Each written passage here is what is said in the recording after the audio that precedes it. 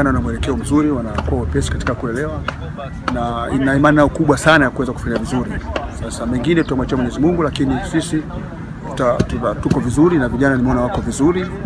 Kwa hiyo ingawa pamoja na kwamba tumefanya mazoezi katika hali ya mvua, lakini kwa sababu mvua imetukuta tusingeweza kuacha, kwa sababu hata hiyo jioni pengine kesho inaweza kuja hali ya mvua. Kwa hiyo tumefanya katika mazingira yote. Kwa hiyo ina imani kabisa kwamba vijana watapata nguvu vizuri, kesho wataamka vizuri na wataenda kupata matokeo mazuri.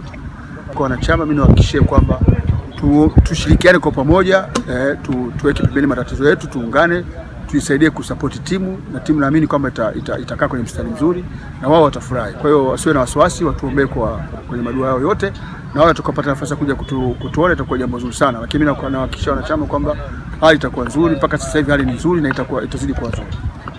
Ya, uh, labda niseme tu kwamba kwa maandalizi tumeyafanya, ingawa jana tulipanga tufanye mazoezi, lakini kwa muda ambao tumefika tusingeweza kufanya.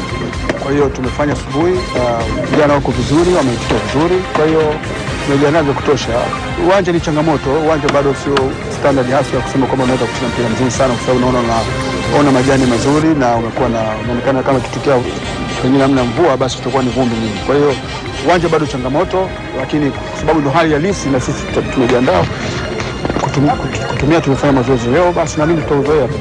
Tunajua na timu nyingi zinajaribu kuweka nguvu kubwa na kucheza na Yanga, lakini sisi kama timu kubwa pia tutafanya juu chini tuweze kupata matokeo mazuri. Sio mara ya kwanza kufundisha Yanga hii. Yanga mimi nafundisha labda mara ya- yaani mara kama ya tatu kwa hiyo sio sio kitu kigeni kwangu mimi isipokuwa sasa kwa vile ambavyo nimekuta timu ikicheza, na nimeingia katika kipindi ambacho hakuna ule muda wa preparation, itabidi tuende na ile hali ambayo tunaiona na ile hali ambayo nilikuwa naiona wakati nikiangalia nikiwa nje ya, ya, ya, ya, ya technical. Kwa hiyo sasa nimekuja, basi changamoto ndio hizo, lakini naamini kwamba kutokana na experience yangu jaribu kuweka mambo vizuri.